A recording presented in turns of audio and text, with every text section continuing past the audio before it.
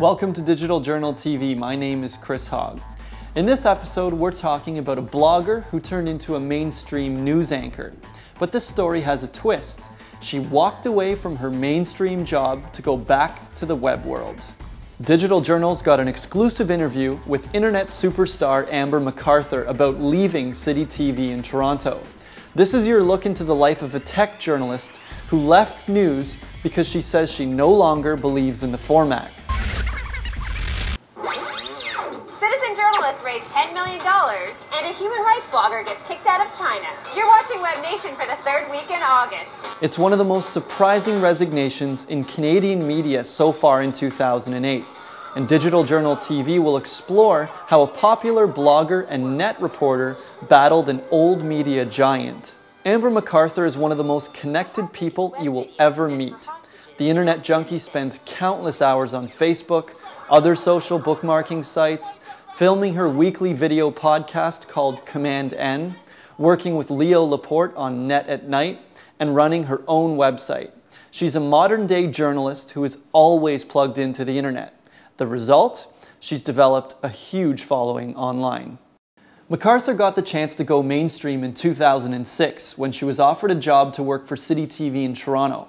She jumped at the opportunity and quickly landed her own bi weekly tech internet show called Web Nation. The show became incredibly popular, but she worried the network was not putting enough resources into it, stifling its growth. MacArthur actually threatened to leave the network, but stayed on after executives promised the world. At that point, management came back and said that they really wanted me to stay, and they offered me my own show on a weekly basis that would launch in January nationally on City TV, as well as G4 Tech TV. And obviously, I was super excited about that. It was a wonderful opportunity. We have a great team, and uh, for two months, we worked towards that goal. And after the holidays, I came in after many discussions with them where everything was fine. I came in who talked to one of the managers. At that point, she had said to me, We don't have a budget to do the show, but you can stay and do daily news stories. Web Nation only aired 16 episodes and was killed before it got a chance to go any bigger. When executives told MacArthur that they were killing the show, she did the unexpected. She quit. Despite the fact she was offered a job as a reporter, she decided to walk. And the reason? She doesn't like traditional media. You know what? It's just not for me. I don't believe in the format.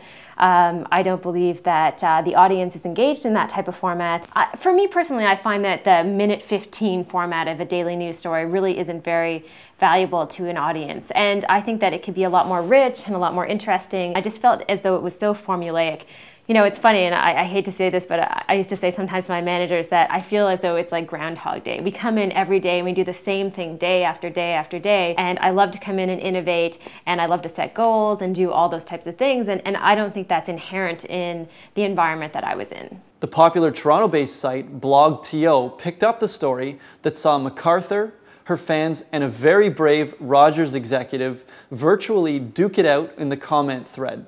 Comments made in the BlogTO forum took a very private affair and made a very public he said, she said story. Among some of the things that Kevin Bardis said from Rogers was the fact that MacArthur was never available for meetings. I just have to laugh when I hear that I wasn't available for meetings. I worked at 299 Queen Street West. I have a Blackberry and a cell phone. I have about five different email addresses. I'm on Facebook, I'm on MySpace, I'm all over the place. If someone wants to get in touch with me, they can definitely get in touch with me. The reaction from BlogTO fans was fierce. One commenter lashed out at the network, saying, your decision to terminate Web Nation is a realization of precisely what was widely feared that you would turn the innovation at City into hollow mediocrity. This is a disappointment for advertisers and shareholders, not just the audience. Digital Journal sent repeated requests to both Rogers and Kevin Bardis to appear on this show and answer questions about Amber MacArthur's show, Web Nation. Both Rogers and Bardis declined an opportunity to speak to Digital Journal on camera. As both the tech, web, and media worlds talk about why Amber's show was cancelled, one part of the discussion that has come up repeatedly is numbers. Some have suggested MacArthur's show was cancelled simply because it didn't have a strong enough following. Uh, as far as the numbers on the show, the numbers, as far as I know, have never been measured as far as the broadcast version of the show. As far as the online version of the show, we had the most popular podcast that City TV has ever created uh, in the news environment. So uh, our podcast, Web Nation, recently won a top award from iTunes for being a best new podcast. We uh, had, I think, about 25,000 to 50,000 regular subscribers, which are it's pretty significant with a podcast that you've only done. I think we did 16 episodes of the show. So our numbers were growing really, really quickly, and uh, the audience was definitely there. We won tons of little awards. We were mentioned a lot online, and so it, it was growing and it was building. But I certainly wasn't hired there to continue to do old school uh, television news. MacArthur so far has been one of the few network TV journalists who actually leveraged the web to create a following. Rogers loved that about her. And in fact, the company did say that it's part of its mission strategy to grow a web following. However, MacArthur disagrees. I think that uh, the network I was working for was a little bit dismissive of anyone who's online and who's blogging in terms of them not really being an important audience for them. I think if they were an important audience for them, I probably wouldn't be sitting here in the middle of the day talking to you. I would be back at work. So I'm not sure that they right now see the value of communicating to an audience who spends more time on their computers than they do watching TV because in their minds, it's the TV audience that they see bringing in the ad revenue and they can't wrap their heads around how they could possibly bring in ad revenue from the online audience. Now, I'm totally in this world. I'm completely in the online world, and I see that the TV side of things is almost being like an advertisement for what you're doing online in the community you build online. So, as you can imagine, there's definitely a little bit of a, a, a clash going on there. For millions of bloggers out there, getting a shot at going mainstream is a dream. For Amber, it was a reality she did not want to be part of. Since leaving City TV, she said she questions the format and complete structure of old media.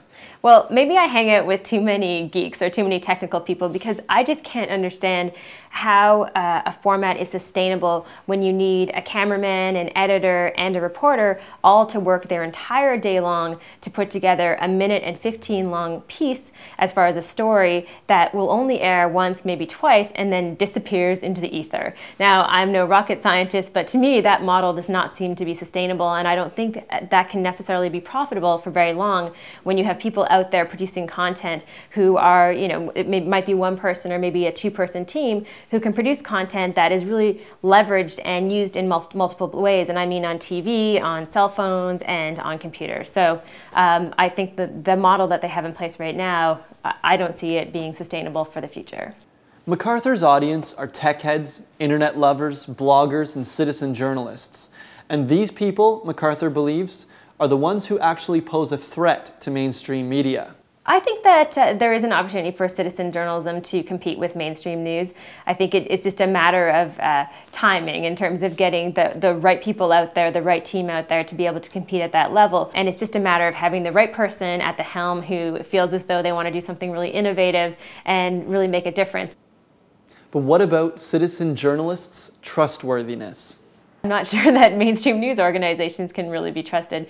Those are the organizations who are funded by advertising. And if you look at our news organizations in Canada and if you look at who's behind them, um, I don't know, I, would rather trust a blogger. so, what's next for MacArthur? Well, she's actually getting her feet wet in the world of social networking. She's also looking for media partners who want to revive her show. MacArthur is already on her feet, and this time it's for the world famous motivational speaker Tony Robbins, who, believe it or not, is building a social networking site. Every time someone says, is it, a, is it a competitor to Google and Facebook, that makes me a little nervous because I'm like, wow, that's uh, those are big boots to fill. But uh, I think it has some of the elements of both of those sites, and I think the idea is that you know this isn't just a little tiny social network that may uh, be a, a home for 35,000 people. The numbers we're looking at are definitely in the millions. MacArthur is also talking with the popular tech site CNET and other Canadian and American media looking to include more tech news. And so that wraps up another episode of Digital Journal TV. This has been your spotlight into the world of Amber MacArthur. I'm Chris Hogg. Thanks for watching, everyone, and we'll see you next time.